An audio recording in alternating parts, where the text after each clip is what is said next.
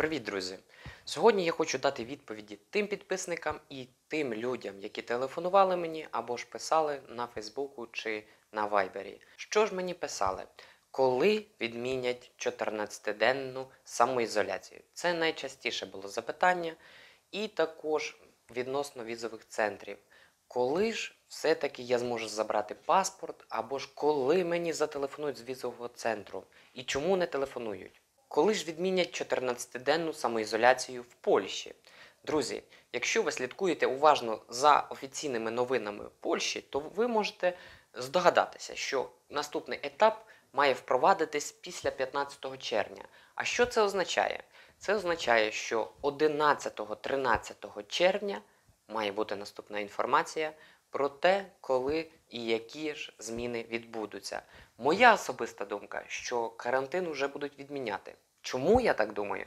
Тому що міжнародні перевізники вже мали їздити через кордон, але чомусь не їздять. Як зі сторони Польщі, так і зі сторони України закони урегулювали для цього, але вони досі не їздять. Тому, друзі, це є одна із причин, чому я так думаю. Наступна причина це те, що візові центри вже майже повноцінно працюють, тобто приймають на усі типи віз документи. Але чому я кажу майже? Тому що, як пишуть мені підписники мої, що вони не можуть сконтактувати з гарячою лінією візових центрів з будь-якою, будь-якого округу. І навіть коли вони пишуть на емейл, то пише, що пошта перенавантажена або ж не вдається відправити повідомлення. Дуже тяжко, друзі, в цій ситуації мені щось вам порадити, але я всім рекомендую і далі дзвонити на гарячу лінію. Попри той автовідповідач, потрібно телефонувати і пробувати. І також чекати дзвінка від візового центру.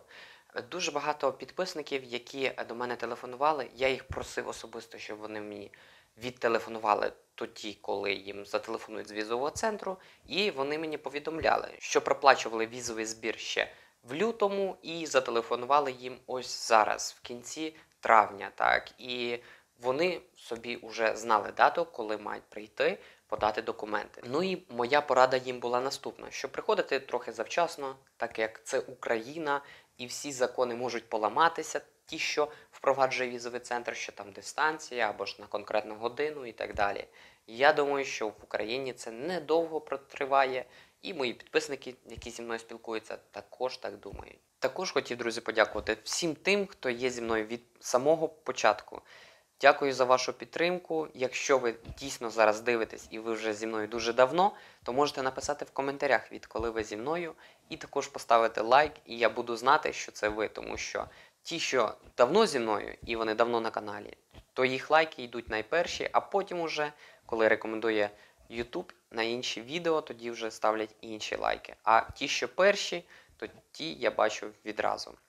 Якщо у вас є, друзі, якісь запитання будь-які по послабленню карантину, або ви десь почули фейкову інформацію, або ж незрозумілу інформацію, ви завжди можете написати це в коментарях.